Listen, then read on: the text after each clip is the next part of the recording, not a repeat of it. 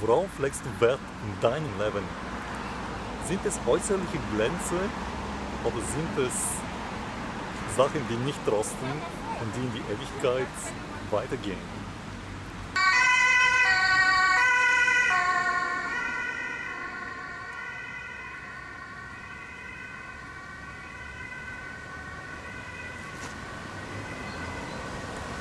Die Kürze unseres Lebens lässt mich denken an eine Notsituation. Eigentlich, du und ich, wir leben in einem Notfall, in einer Notsituation, wo wir jeden Tag etwas verlieren, was so kostbar ist. Wir verlieren unser Leben. Unser Leben wird kürzer, um für viele von uns eines Tages zu verschwinden. Und wir stellen fest, sogar der Sinn ist nicht darin zu finden. Es wäre nur schlau, vorzudenken und nicht abzuwarten, bis wir erst in unserer Rentenzeit entdecken, dass dieses Leben und seine Angebote mich nicht glücklich gemacht haben. Unser Glück findet sich nicht in materiellen Sachen. Viele Menschen haben das ausprobiert und können sicherlich bezeugen, wenn sie etwas erreicht haben, finden sie es gar nicht so toll. Was bietet mir diese Welt an? Sie bietet mir schöne Autos. Für vielen, sie sind der Meinung, diese Welt bietet ihnen Frauen. Für Frauen mag diese Welt eine Partnerschaft bieten, aber all dies ist irgendwie sehr wackelig, ist irgendwie sehr unstabil, ist irgendwie sehr vermischt mit Egoismus, was letztendlich uns enttäuschen lässt. Doch es gibt eine Entdeckung, die uns mehr und mehr begeistern kann, weil sein Charakter ist unendlich, unausforschlich schön. Und er kann mit uns so leben, dass wir immer aufs Neue begeistert sind. Jesus Christus ist die Quelle der Freude, die nie versiegt, sondern sich mehr und mehr vertiefen kann. Weil Jesus Christus nicht nur ein ewiges Leben anbietet, sondern ich glaube, ein Leben, das immer glücklicher wird. Sei mit ihm, weil er mit dir ist. Diese Welt vergeht. Diese Welt bietet einen Spaß und eine eine Abfindung nur für kurze Zeit, aber nicht für immer.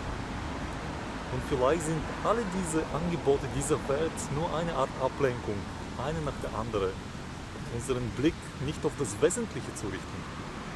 Aber das Wesentliche kommt und drückt näher mit jedem Tag an uns heran. Zusammen mit ihm, besonders in der Gnadenzeit, wo er dich formt, wo er dir Farbe verleiht, sodass dein Charakter fähig wird zu einem Himmel, wo nur Herrlichkeit, Güte und Glück herrschen. Es ist schon jetzt an der Zeit, einfach sich die Zeit zu nehmen, logisch zu denken. Wo kommt, wo kommt die wahre, die wahre Bedeutung des Lebens her? Und wo findet das Leben seine Erfüllung? Wo werde ich meine Freude an dem Leben nie verlieren? Solche Antworten gibt es in der Heiligen Schrift. Und diese ist ein relevantes Buch für mich. Es beinhaltet einen Liebesbrief. Dort zum Beispiel erkenne ich, dass es zwei Personen gibt, die auf dieser Welt etwas mir anbieten. Letztendlich nur zwei. Die eine Person bietet mir Rettung von der Sünde an. Die andere Person bietet mir nur Materielles und Vergängliches sei es auch Vergnügen, was eigentlich aber nur eine Fälschung ist von etwas Wahrem, von etwas, was Gott als wahre Liebe geplant und herrlich gemacht hat, ein Imitat, ist etwas, was uns nur ablenkt und von dem Wahren abhält. Deshalb ist es so wichtig, sich nicht ablenken zu lassen an diesen materiellen Gütern, an diesen Spaßangeboten und Vergnügungsgeschichten vorbeizugehen und direkt zu Jesus zu gehen. Weil wenn ich zu ihm gehe, erfahre ich etwas. Ich erfahre, dass er meinem Leben erst eine tiefe Dimension schenkt, dass er meinem Zustand und meiner Verfassung erst so macht, dass ich das Leben wirklich wahrnehme, genieße und mit Sinn in unserer Partnerschaft ausführe. Wir leben in einer Notsituation. Wir brauchen eine Rettung. Aber wenn wir die Notsituation erkennen, sind wir schon auf dem richtigen Weg, uns umzuschauen, wer eigentlich der Retter ist. Gibt es, gibt es einer, der mir etwas anbietet, was mich davor schützt, dem Verwesen preisgegeben zu werden? Wir alle wissen, alles, was wir machen, unterliegt einem Zerfall. Wir selbst können Leben weder initiieren noch erhalten. Aber es gibt jemand, der an unserem Leben interessiert ist, der mein Leben gewünscht hat, einen Plan für ihn hat und er kann mein Leben erhalten und erfüllen. Dieses Leben erst zu entdecken, ist für viele von uns die größte Herausforderung. Weil in unserer Notsituation, obwohl wir eigentlich jeden Tag so viele Stunden zur Verfügung haben, hat der Teufel so gemacht, dass wir viel weniger Zeit finden, um überhaupt über diese wichtigen Themen nachzudenken. Jesus Christus dagegen wünscht sich die Möglichkeit, dass wir uns geben, über Leben und Tod, über Ursprung und Ziel unseres Daseins nachzudenken, damit er mit seinem Angebot an meine Herzenstür kommt und mir die Wichtigkeit von diesem Angebot klar macht. Wenn ich sein Angebot ignoriere, sage ich zum Leben Nein, weil ich hatte dem Lebensgeber Nein gesagt und es gibt nur einer, der das Leben initiiert und erhalten kann. Das ist der Schöpfer selbst, der zu unserem Glück gleichzeitig auch unser Retter ist. Wende dich an ihn. Steig in ein Team ein, wo er der Leiter ist.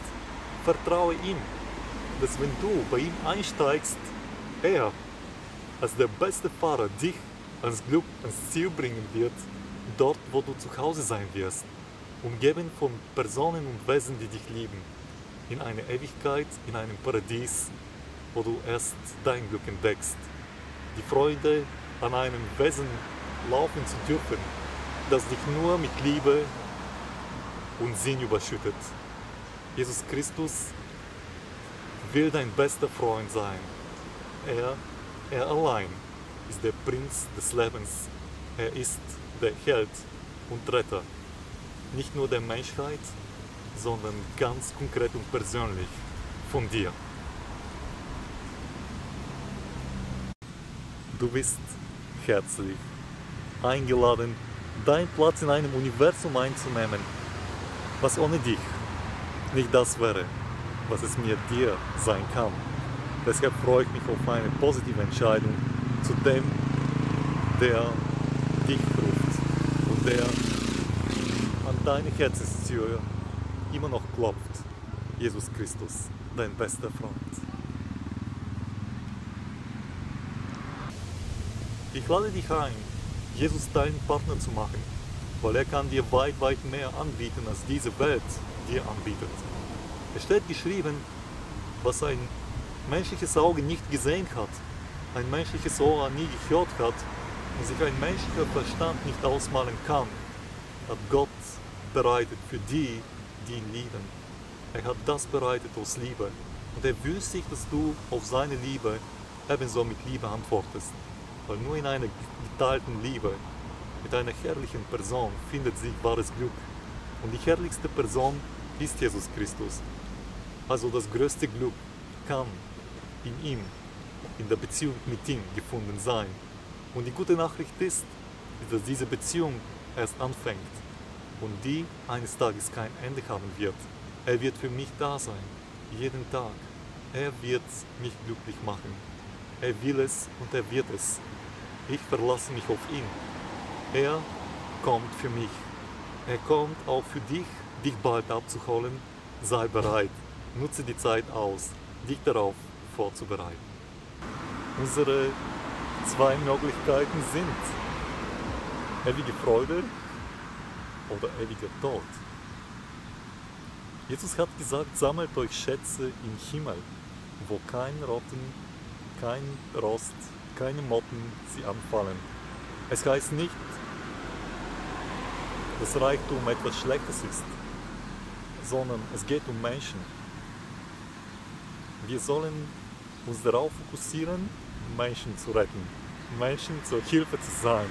Dann ist der Herr mit uns und er segnet uns mit dem, was er uns gibt, damit wir anderen dienen können. Der Herr lädt dich auf eine Feier ein, die wird größer sein als alles, was man sich ausmalen kann.